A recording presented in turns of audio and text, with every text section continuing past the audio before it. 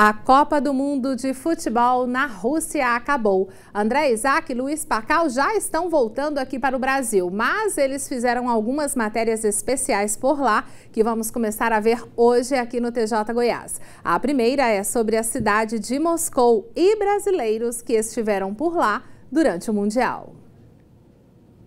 À primeira vista, Moscou já impressiona pelas construções imponentes que aparentam ser detalhadamente muito bem cuidadas. Edificações que contam um pouco da rica história desse país e dessa cidade, que tem quase 900 anos. Essa é a Praça Vermelha, que tem esse nome por causa da Catedral de São Basílio. Mas se é tão colorida, por que chamaram de vermelha?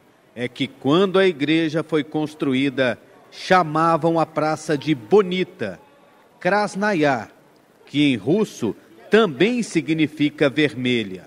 Nela existem museus, catedrais, o mausoléu de Vladimir Lenin, o GUM, a antiga loja de departamentos da União Soviética, que hoje é um shopping de alto padrão.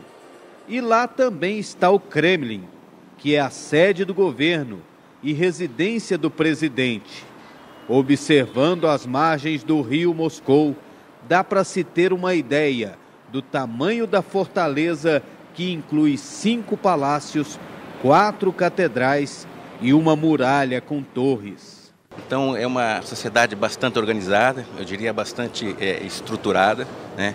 mas é, é, os prédios, a estrutura, a limpeza das ruas, né? a maneira com que realmente eles vivem, calçadas largas, né? É, avenidas largas, isso foi muito impressionante para nós. É ali que mora o Vladimir Putin.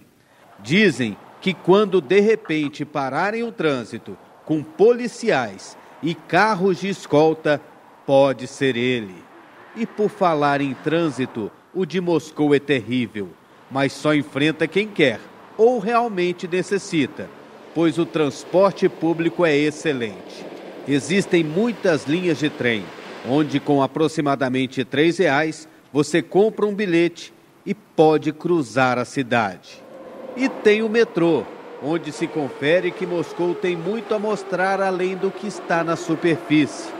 São, em média, 60 metros de profundidade, que a gente começa a sentir pelas longas e íngremes escadas rolantes, que estão entre as maiores do mundo. Ah, nós tivemos assim numa estação que é mais profunda, né? Então assim demorou quase quatro minutos de escada rolante, né?